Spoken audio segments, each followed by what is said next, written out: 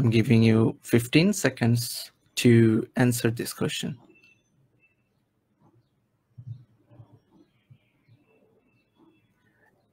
If your video is not clear, you refresh the page. You go back and come back again.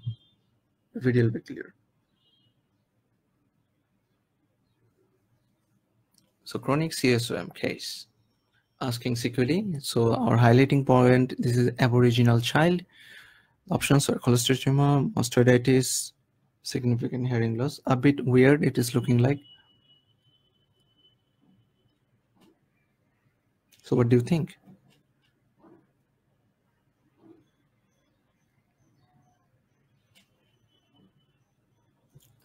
Uh, highlighting point guys, CSOM, Aborigine, maybe um, no treatment by this time because the Aborigine, they don't go to the health center so often. So if you just left this in air infection, what will happen? You can understand. So thing that will happen. Okay. See, sometime the options can be changed. Like one more thing here, the option can be changed. Cholesteatoma, it is very hard to tell without saying the tympanic membrane. Okay. If you just left, like, you know, I ask what it could be. Very simple thing I ask. So, you know, significant this hearing loss, that is an indicator of CSOM as well. Okay, so uh, chronic COPD is a chronic inflammation of the ear cavity. You know, this sometimes this weird type of stem we found. I'm not sure that it is a recaller's mistake or uh, intentionally they put this thing. So chronic suppurative otium is a chronic inflammation of the middle ear and mastoid cavity, permanently developing disease in the developing world. Uh, it's okay, like uh, Aborigine are uh, not from very good background, so this can develop so often. And you know, in this one, actually the recaller is telling this is CSOM. But when you will go to the main exam, they will tell you there's aboriginal child, there was recurrent, you know, pain in his ear and discharge in his ear. And now he came to the GP because now it has become severe in recent days. But when you take history, it's been a couple of time in past. Okay. So you should think about the option so uh, if you just left the CSOM, it will just damage the tympanic membrane and there could be perforation. Okay, so there'd be significant hearing loss. So that is the thing. So with limited information for the question, this is recall. So we have to just know the pros and cons. So I think significant hearing loss. That's most important thing. Okay. So we're going for C with limited information. I think I'm sure the main exam will tell you much more thing. Don't worry at all. And just know about the CSOM. That is how the CSOM probably looks like. So with CSOM, now you tell me one thing. With uh, CSOM, uh, hearing loss is more common or cholesteatoma developing is more common. What do you think? Okay, very nicely said. Dr. Saida. Very nicely said. So now, now the pattern we need to think like, you know, that which one is more significant. So first we should think about hearing loss. Then we'll think about the uh, probably even cholesteatoma. I think I it's a something we should. It is a rare thing. So I think I, we should put it as like number three here. This one I'll put one. This one put two. So that's the thing. So hearing loss is more common. AMC wants you to know that. The more common one, do you know the more common one? Okay, so here we can see the tympanic membrane has been damaged. So the damaged tympanic membrane, all this thing. Right. Question number two, we can go with. Okay. Eight-year boy with previous two previous history of two year surgeries. So what history we have? Two year surgery. Comes for significant pain in the ear. Pain in the ear is also called otalgia. Please do remember and don't confuse in the main exam. Pain in the ear, it is also called otalgia. So profuse offensive discharge on examination, the area behind, the ear is tender. What is the next investigation? Before going into the investigation, first you tell me what is the diagnosis and then tell the answer. So you have 15 seconds.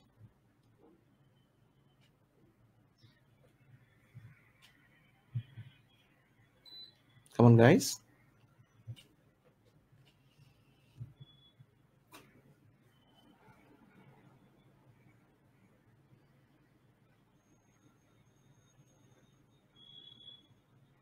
Yes, behind the ear, there's a word. What is the keyword? I always look for the keyword. Pain behind the ear. I think my diagnosis is almost there. Good. Mastoiditis. If you're thinking mastoiditis, very good. If mastoiditis, what I should think? Okay. Many of you have answered already. Question number two answer. So it's the eight year uh, boy, like, you know, important thing I highlighted, pain would be behind the ear. So CTY to rule out mastoiditis because at this point we're not sure, but we are suspecting. Okay, so we'll like to do an CT to rule out the mastoiditis. Here I just put, this is from John Murtagh. So the overall thing we need to do for a CSOM case because this CSOM or in any kind of uh, otitis media can lead to a lot of other complication. So these are in general. Someday you'll go to MC Clinical and that time you have to tell all the names. You know, I would like to do this, this, this test or I'm referring you to specialist and specialist will do some tests like otoscope, culture, PTL, X-ray, uh, some blood test and some urine. Uh, you know, in general, some parts we called office test as well. So if it's an office test, a lot of things are covered. So there's certain significant ways to, you know, tell these things in MC clinical exam. But for this one, to rule out the things, I think CT, uh, reference, okay, reference reference Medbullets. Okay so it is it is given. If you check the Medbullets the mastoiditis the ct scan reference is given right? Next question is coming guys. Child who is acting out in a school with hearing loss comes uh, to and there's a picture like this picture like this probably and he has been having a multiple episodes of ear pain so this is a keyword, multiple episodes of ear pain. And also we have a discharge here, very importantly. So what is your diagnosis? So you can see this diagnostic type question you will be asked a lot. Like is it otitis, it is CSOM, ASOM, mastoiditis, or effusion, or externa. Okay, so you need to know like you know how to differentiate between all of them. So I'm giving you 15 seconds to answer this question. Let's see how do you respond.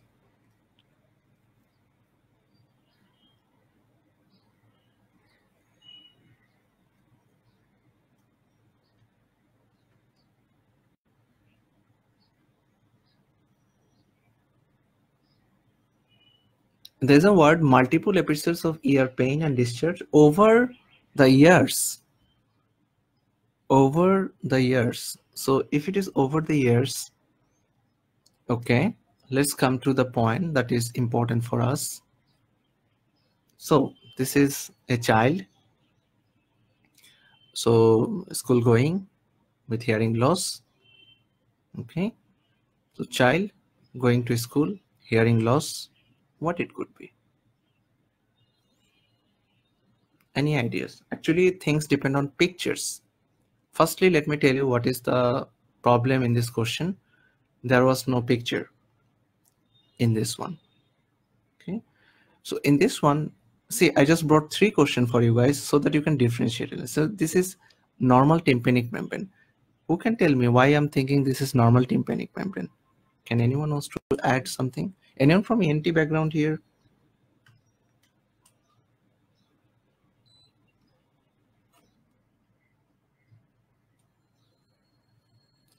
Normally there is no fluid. I can see the shininess. Can you see the shininess?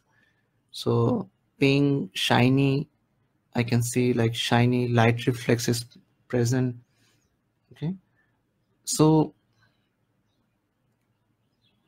this is the thing and if it would have been effusion i'm not telling which one is the answer right now even though it could be written i'm telling you to judge by seeing the picture in the main exam okay so this is like you know just compare both of them. Like you can see some shininess is gone now. Okay and especially this one if you see more more shininess is gone. But this one is quite good and this one is I think shininess is gone. And I can also see the edematous and the fluid. So the things depends. Thing depends on the picture first of all so multiple episodes of ear pain and discharge. Maybe we're thinking as like you know from this information there is no doubt this is CSOM but I can tell you one of my doubt because in school growing children uh, otitis media with effusion is also common for them. Okay?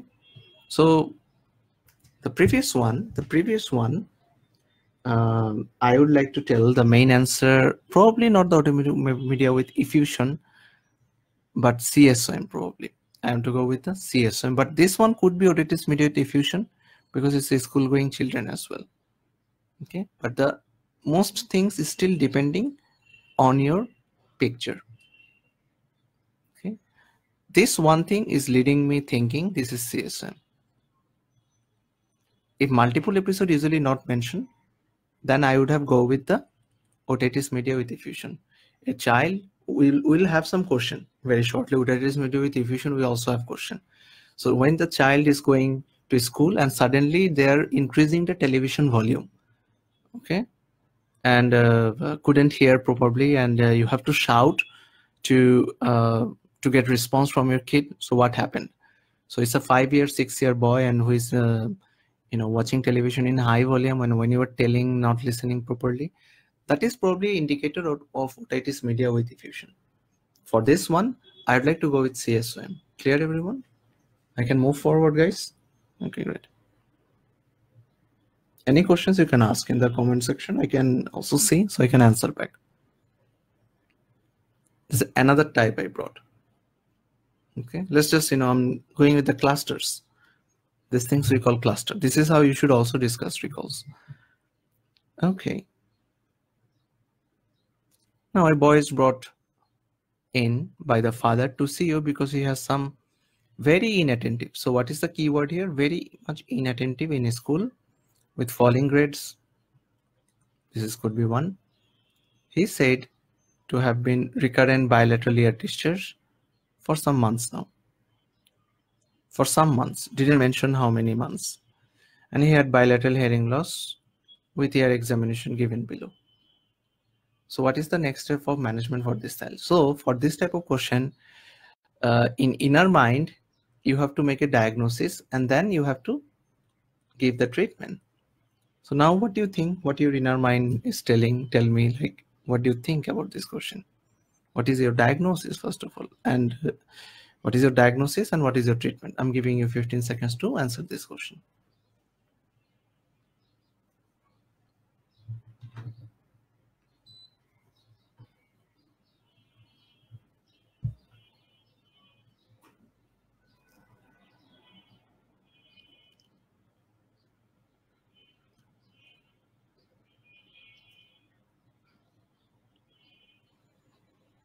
Okay, what about the answer, guys?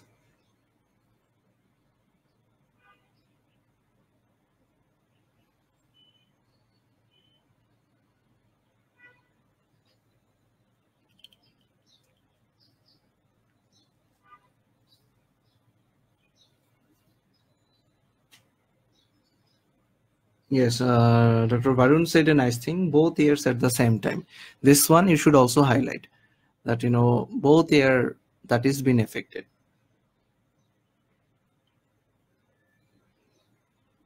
Okay, so let's go for the answer. Okay. So very inattentive in school with falling grades, recurrent bilateral ear discharge for some months now. Okay, and um, it has been bilateral. On examination, bilateral hearing loss finding in the ear. So a similar type of question. So there is another question I just want to tell you apart from this one. School going children is not attentive suddenly. You should check the ENT until proven otherwise because there is another recall. It was that like, you know, the same scenario, the scenario was almost similar and they said ENT or psychiatric evaluation. You can search with that keyword, psychiatric evaluation. You might find that recall. It's an old recall, but this says old recall started to come. Yeah. So I, I'm also thinking the same. So bilateral and uh, it's for more longer time. So I personally also think this could be the uh, CSOM and uh, uh, you need to manage with giving this ciprofloxacin, this drop. And as I said, another extra thing that if, just wait a second.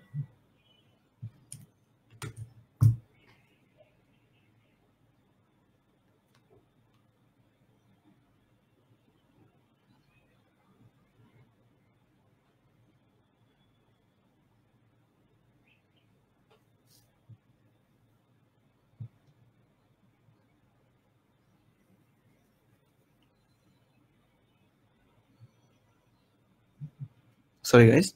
Okay so uh, in ciprofloxacin eardrop CSOM has been diagnosed and we're giving ciprofloxacin but you know a very close DD is otitis media with effusion okay? Next one this is even though a handbook question.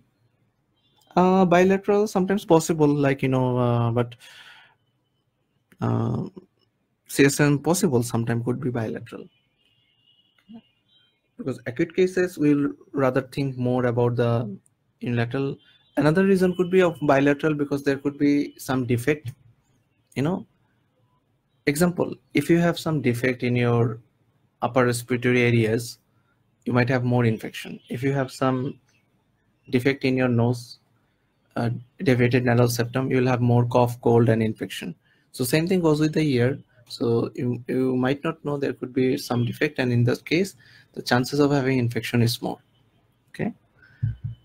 So that is the thing.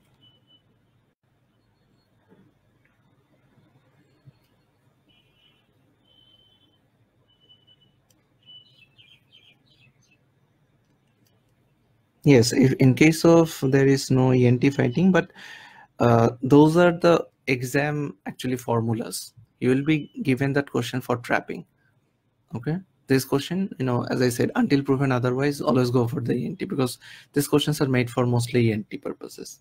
Okay. Next this is a very important handbook question and often tested we have seen. Just 11 years. Immunity is already down in 11 years. Temperature we have a temperature now and persistently crying fever running nose and you know attended daycare for two weeks a day otoscopic examination showed dull, you know, tympanic membrane, which is bulging outward. And uh, he has not been treated for any ear problem previously. Which one of the following is the most appropriate next step of management for these children?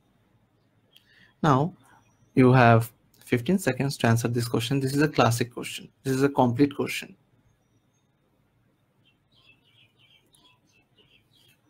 So some of you already, so bulging outward, bulging tympanic membrane. So one particular ear that is affected. So one ear, one ear that is affected. Also, I can see the bulging. These two words are quite enough. And also I can see increased temperature. Quite enough for me to make a diagnosis. So this is nothing but uh, CSOM. This is nothing but CSOM so the keyword is bulging and how this bulging usually looks like. So this is the bulging, bulging red drum on the otoscopy. This one, you know, you should, this picture you should fit in your mind. Like whenever this type of picture will come and you quickly hit the ASOM and then you can see your answer is correct. Answer is E, paracetamol and amoxicillin. One extra thing, uh, who is more responsible for ASOM is probably it could be Streptococcus pneumoniae Yes, Dr. Nidhi said in very nice way, ASOM with bulging and fever, dull tympanic. Yeah, these are very popular word for ASOM. Thank you so much. Okay. Secret recipe. It's okay. It's like, you know, uh, see, uh, I just picked that one. Like, you know, don't just judge practically few things. These are few impractical thing I'm just going to tell you now. Okay. So there's like few questions. I just picked up the mm-hmm. answer from there. So inflamed membrane, like, you know, there'll be redness on the membrane. There'll be discharge and no retraction. Okay. So inflamed membrane, how do I know? There'll be redness and there will be bulging. That's how we get to know that is inflamed membrane. And what is the treatment? Amoxicillin and also you can say analgesic. Just the previous question we have seen. Inflamed with discharge with retraction. Again, it's amoxicillin. Also, actually, to be honest, it depends on time. Time frame is also important. You know, before six weeks, we say this could be the ASOM, most cases. And inflamed without discharge, without retraction, again, it could be ASOM. If you have the redness and bulging in the tympanic membrane in anyhow, either they will tell you or either they'll give you the picture. So you have to make a diagnosis and you have to give a treatment. Now, the only thing that is little different here, you know, they might tell you like this incidence, incidence happens, you know, multiple time, as like you have seen previously, multiple times. And uh, redness bulging, they might not tell in this case. So in this one, the number four, the diagnosis could be CSOM. Okay. So even though it looks uh, easy, ASOM, CSOM, but you should give some more effort. How to differentiate between ASOM, CSOM. I'm sure now it is looking easy because I'm telling, but you know, when you will go and later you might forget that one. So you should check in various website forums, also in Google image, like how to differentiate ASOM, CSOM, just, you know, just make that thing fit in your brain. So whenever the question will come, quickly you can answer. So CSOM, as you can see, but the treatment was tested one time in MC. This is very important. For the treatment for CSOM, yes, we do give antibiotic, but if it is asked what is the mainstay, so that, that question was asked, what is the mainstay in case of CSOM? So this is a MC recall, exam recall. So the answer would be ER toileting. ER toileting. That is the correct answer. Okay, can we move forward to the next?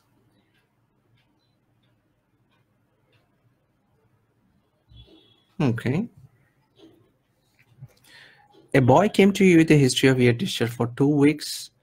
His tympanic membranes looks dull and retracted, and there's yellow discharge from his ear. You know, please highlight this word. There is dullness, retraction, discharge only for two weeks, and yellow discharge from his ear. Now what to do next? Tricky question. Giving you 15 seconds. Let's see who is first. Question six.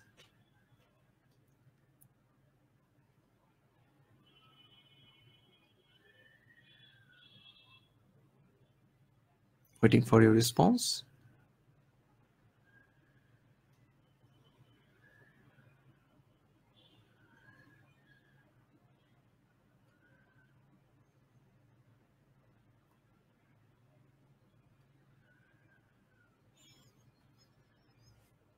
Okay, so let's get into the answer.